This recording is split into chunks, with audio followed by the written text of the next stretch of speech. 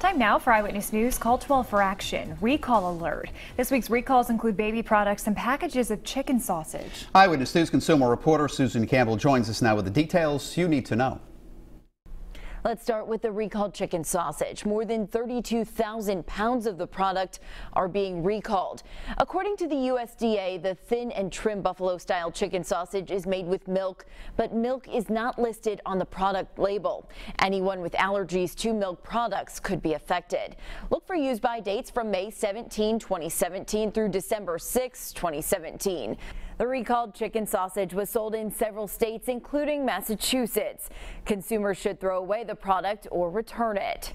Moving on to a recall alert for dish soap.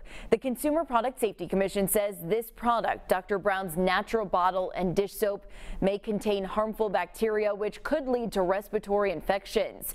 Any bottles or dishes that were cleaned with the recalled soap should be boiled or sanitized in the dishwasher.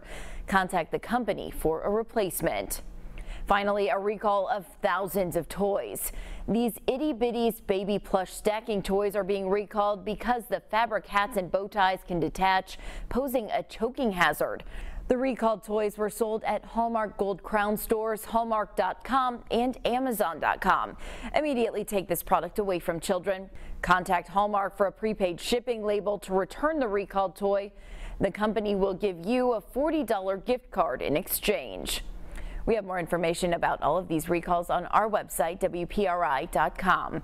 If you have a consumer problem you need help solving, contact our Call 12 for Action Center Monday through Thursday from 11 until 1. Our hotline is 228 1850. I'm Susan Campbell, Eyewitness News.